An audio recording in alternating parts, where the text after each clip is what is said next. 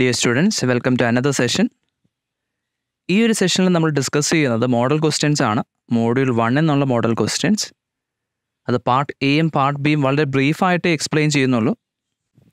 വളരെ ഡീറ്റെയിൽ ആയിട്ട് നോട്ട്സിൽ കൊടുത്തിട്ടുണ്ട്. നമുക്ക് നോട്ട്സ് റെഫർ ചെയ്യാം. സോ ഫസ്റ്റ് ക്വസ്റ്റ്യൻ നോക്കാം. പാർട്ട് എ എന്നുള്ളൊരു ക്വസ്റ്റ്യൻ ആണ്. How do you use a decomposition strategy to design a menu driven calculator that supports four basic arithmetic operations addition, subtraction, multiplication and division.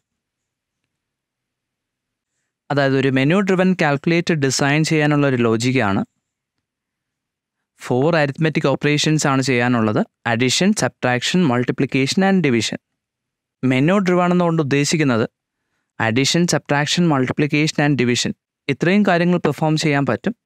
അപ്പോൾ അത് display ചെയ്യും. ഇതിൽ ഏത് option വേണമെന്നുണ്ടെങ്കിലും യൂസറിന് select ചെയ്യാം.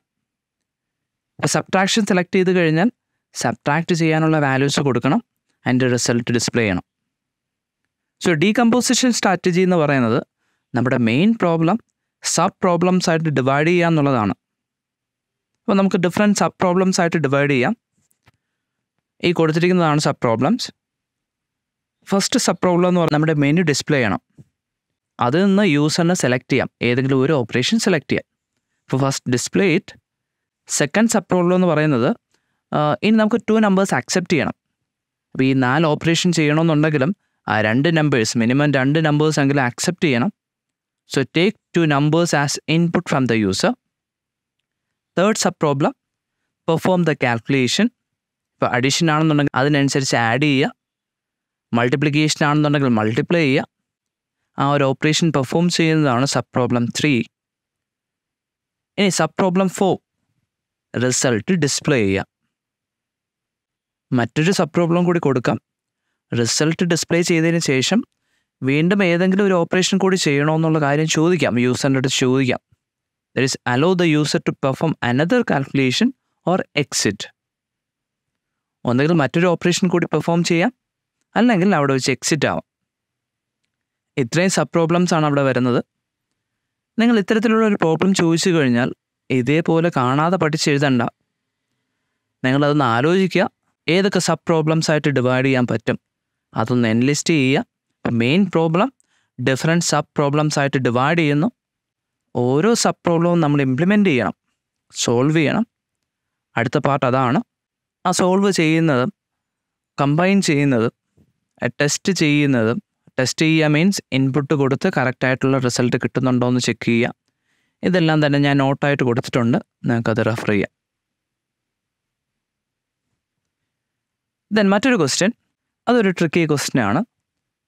A math scientist wishes to make a chain out of plutonium and lead pieces but there is a problem if the scientist places two pieces of plutonium next to each the boom അതായത് explosion ഇപ്പോൾ രണ്ട് പ്ലൂട്ടോണെ അടുപ്പിച്ച് വെച്ച് കഴിഞ്ഞാൽ explosion ഉണ്ടാവും. Question ഇതാണ് how many ways can the scientist safely construct a chain of length n മുത്തുകളായിട്ട് എടുക്കുകയാണെന്നുണ്ടെങ്കിൽ ഇങ്ങനെ മുത്തുകൾ ഇങ്ങനെ അടുക്കി അടുക്കി പോകണം എന്നിന്റെ ലെങ്ത് ഫൈവ് ആണെന്നുണ്ടെങ്കിൽ ഫൈവ് ബീഡ്സ് ഇങ്ങനെ പ്ലേസ് ചെയ്യാം. ഈ ബീഡ് എന്ന് പറയുന്നത് പ്ലൂട്ടോണിയം ആകാം അല്ലെങ്കിൽ ലെഡ് ആകാം. ബട്ട് അങ്ങനെ പ്ലേസ് ചെയ്യുമ്പോൾ ഒരു കാര്യം ശ്രദ്ധിക്കാനുള്ളത് രണ്ട് പ്ലൂട്ടോണിയം അടുപ്പിച്ച് വരാൻ പാടില്ല.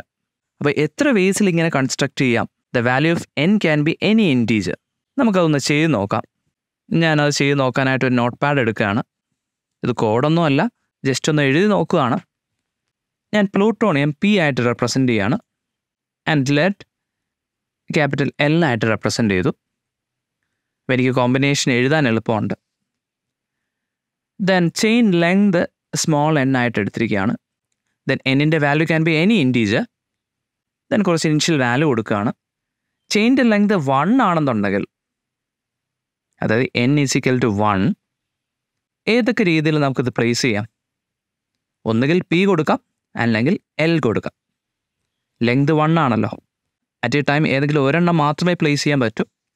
ഏത് പി ഓർ എൽ അപ്പോൾ അവിടെ നമ്പർ ഓഫ് ഫേസ് എന്ന് പറയുന്നത് ടു ആണ്. Number of ways or length equal to two P or L അല്ലേ?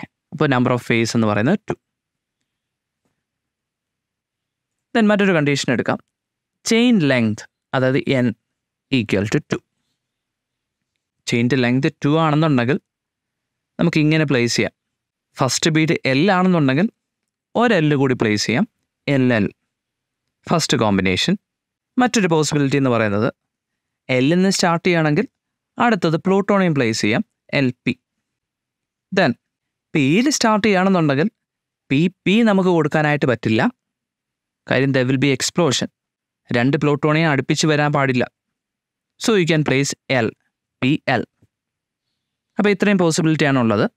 So if n is equal to two number of ways അല്ലെങ്കിൽ ലെങ്ത് എന്ന് പറയുന്നത് ത്രീ ആണ്. ത്രീ കോമ്പിനേഷൻസ് ആണ് അവിടെ മാക്സിമം വരുന്നത്. Okay then chain length three ആയിട്ട് എടുക്കുകയാണ്. Chain length or n equal to three അപ്പോൾ starting bead let it be L അപ്പോൾ if one bead equal to L അവിടെ എന്തൊക്കെ കോമ്പിനേഷൻസ് വരാം? ഇപ്പോൾ ഫസ്റ്റ് ബീഡ് എൽ പ്ലേസ് ചെയ്തു. ഇനി റിമൈനിങ് എത്ര ബീഡ്സ് കൂടി വെക്കണം? ടോട്ടൽ ലെങ്ത് ത്രീ ആണ്. ഫസ്റ്റ് ബീഡ് എൽ പ്ലേസ് ചെയ്ത് കഴിഞ്ഞാൽ ഇനി രണ്ട് ബീഡ്സ് കൂടി വയ്ക്കാം. രണ്ട് ബീഡ്സിന്റെ ഡിഫറെന്റ് കോമ്പിനേഷൻസ് നമ്മൾ already എഴുതിയിട്ടുണ്ടല്ലേ? L L L P and P L so അത് യൂസ് ചെയ്ത് നമുക്ക് കോമ്പിനേഷൻസ് എഴുതാം. ഇപ്പോൾ starting bead L remaining beads L L വരാം. So L L L then അടുത്ത combination starting bead L next combination can be L P so L L P then third combination, again starting bid L. Remaining combination P L ആണ്. അപ്പോൾ P L എഴുതാം. L P L ഇപ്പോൾ starting bead L വരികയാണെന്നുണ്ടെങ്കിൽ അവിടെ three combinations ആണ് വരുന്നത്. അപ്പം നമുക്ക് ഇങ്ങനെ എഴുതാം. Number of ways equal to length of n is equal to two then കഴിഞ്ഞിട്ടില്ല.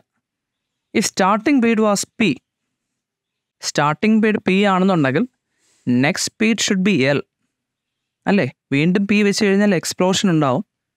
സോ നമുക്ക് ഇങ്ങനെ എഴുതാം. പി എൽ അപ്പോൾ നമ്മുടെ എന്നിന്റെ വാല്യൂ ത്രീ ആയിരുന്നു. ഇപ്പോൾ രണ്ട് ബീഡ്സ് നമ്മൾ പ്ലേസ് ചെയ്തു. ഇനി ഒരു ബീഡ് കൂടി പ്ലേസ് ചെയ്യണം. ഇപ്പോൾ ഒരു ബീഡ് വെച്ചിട്ടുള്ള കോമ്പിനേഷൻസ് നമുക്കറിയാം. ഏത് പി ഓർ എൽ അപ്പോൾ നമുക്കിങ്ങനെ എഴുതാം. പി എൽ കഴിഞ്ഞാൽ ഒരു പി കൂടി വരാം. അല്ലെങ്കിൽ P L another one it can be L or നമുക്ക് ഇങ്ങനെ എഴുതാം number of ways equal to length of n is equal to one എന്നിന്റെ വാല്യൂ വൺ ഉള്ളപ്പോഴും നമ്പർ ഓഫ് വേസ് എന്ന് പറയുന്നത് എത്രയായിരുന്നു? ടു ആണ്. അല്ലേ?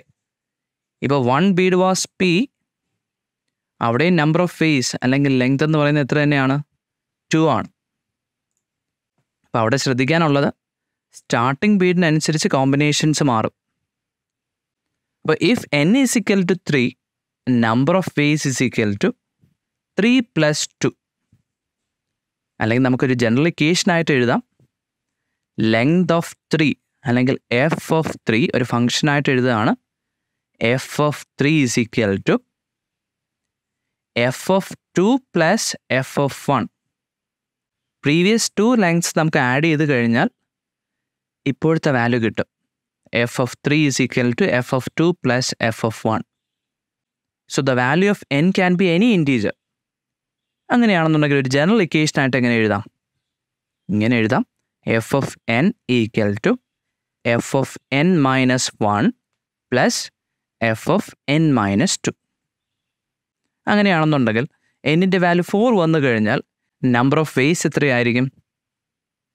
F F four is equal to F F three plus F F two so ഇത്രയും കാര്യങ്ങൾ അവിടെ എഴുതണം. ഇതേപോലുള്ള പ്രോബ്ലംസ് വരാം. സോ ആ ഒരു പ്രോബ്ലം എന്താണെന്നുള്ള അനലൈസ് ചെയ്യുക. ഇൻഷ്യൽ കണ്ടീഷൻസ് കൊടുത്ത് നോക്കുക. ഇൻഷ്യൽ കണ്ടീഷൻസ് എന്നൊരു സീക്വൻസ് ജനറേറ്റ് ചെയ്യാൻ പറ്റുമെന്നുള്ള നോക്കുക. ആ ഒരു സീക്വൻസിന്റെ ജനറൽ ഇക്വേഷൻ എഴുതണം. മറ്റൊരു ക്വസ്റ്റ്യൻ നോക്കാം. പാർട്ട് ബി എന്നുള്ള ക്വസ്റ്റ്യൻ ആണ്. Walk through the six problem solving steps to find the largest number out of three numbers ഇതുപോലുള്ള ക്വസ്റ്റ്യൻ നമ്മൾ ഓൾറെഡി ചെയ്തതാണ്. ഫസ്റ്റ് മോഡ്യൂളിലും സെക്കൻഡ് മോഡ്യൂളിലും ആയിട്ട് നമ്മൾ കണ്ടു. അൽഗോരിതം എഴുതി സ്യൂഡോ കോഡ് എഴുതി. ബട്ട് ഇവിടെ വരുമ്പോൾ സിക്സ് പ്രോബ്ലം സോൾവിങ് സ്റ്റെപ്സ് ഉണ്ട്. ഒരു പ്രോബ്ലം സോൾവ് ചെയ്യുമ്പോൾ സ്റ്റാൻഡേർഡ് ആയിട്ട് ഫൈവ് ടു സിക്സ് സ്റ്റെപ്സ് ആണ് അവിടെ വരുന്നത്. ആ ഫൈവ് ടു സിക്സ് സ്റ്റെപ്സ് നിങ്ങൾ അറിഞ്ഞിരിക്കണം.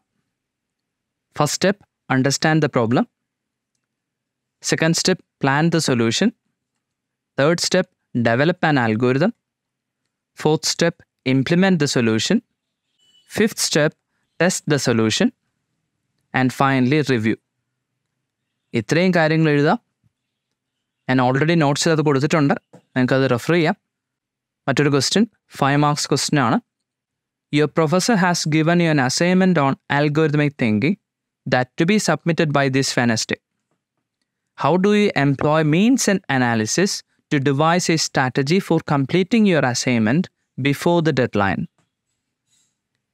അപ്പോൾ നിങ്ങൾക്ക് തന്നിരിക്കുന്ന അസൈൻമെന്റ് ഡെഡ് ലൈന് മുമ്പായിട്ട് സബ്മിറ്റ് ചെയ്യുക. That is your goal means and analysis വെച്ചിട്ട് നമ്മുടെ ഗോളിനെ സബ് ഗോൾസ് ആയിട്ട് ഡിവൈഡ് ചെയ്യുകയാണ് സബ് ഗോൾസ് ആയിട്ട് ഡിവൈഡ് ചെയ്തതിന് ശേഷം ഓരോ സബ് ഗോളായിട്ട് നമ്മൾ കംപ്ലീറ്റ് ചെയ്ത് പോവുകയാണ്. നമുക്കിത് വെനസ്ഡേക്ക് മുമ്പായിട്ട് സബ്മിറ്റ് ചെയ്യാം. ഓരോ ഡേയിലും ചെയ്തു തീർക്കേണ്ട സബ് ഗോളായിട്ട് നമുക്ക് ഡിവൈഡ് ചെയ്യാം.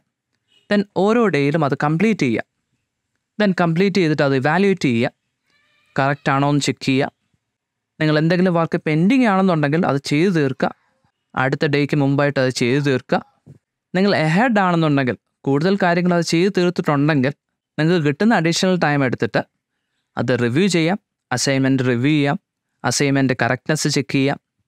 ദെൻ അതിനുശേഷം നെക്സ്റ്റ് ഡേയിലോട്ട് പോവാം അപ്പോൾ അവിടെ വരുന്ന മെയിൻ പോയിന്റ്സ് നോക്കുക. Define the goal then identify the current status then break down the goal in the smaller sub goals അതാണ് വളരെ ഇമ്പോർട്ടന്റ് നമ്മുടെ എയിം എന്ന് പറയുന്ന അസൈൻമെന്റ് സബ്മിറ്റ് ചെയ്യുക എന്നുള്ളതാണ്. അതിനെ സബ് ഗോൾസ് ആയിട്ട് ഡിവൈഡ് ചെയ്യുക. For day one complete research and gather resources നിങ്ങൾക്ക് റെഫർ ചെയ്യേണ്ട ബുക്സ് നിങ്ങൾക്ക് തീരുമാനിക്കാം. എന്തെങ്കിലും യൂട്യൂബ് വീഡിയോസ് ഉണ്ടെങ്കിൽ അത് സെർച്ച് ചെയ്യാം അത് സെലക്ട് ചെയ്യാം. Gather resources day two outline the assignment structure പല ടൈപ്പ് ക്വസ്റ്റ്യൻസ് വരാം. പ്രോഗ്രാമിംഗ് ക്വസ്റ്റ്യൻസ് ഉണ്ടാവാം. തിയറി ക്വസ്റ്റ്യൻസ് ഉണ്ടാവാം.